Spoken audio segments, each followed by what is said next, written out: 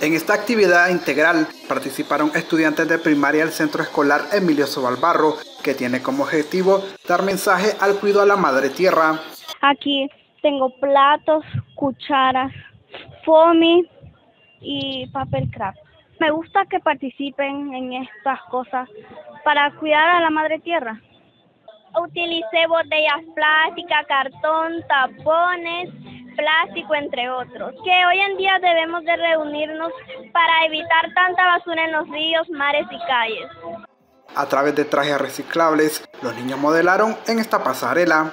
Me, encantaron porque buscaron y buscaron bastantes materiales, tanto como discos, como discos de reutilizaje, buscaron cartón, buscaron vasos desechables, este, buscaron distintas cosas para hacer nuestros vestidos. O sea, algo que no todos tenemos esa imaginación, pero sí lo buscamos cómo hacer. Estos tipos de eventos son muy importantes, son muy motivacionales para nuestros niños, de que debemos de reciclar, de que debemos dejar la basura en su lugar, separar la basura, el vidrio, el plástico, y pues que más que todo verlos desfilar con trajes bonitos, con trajes dedicados.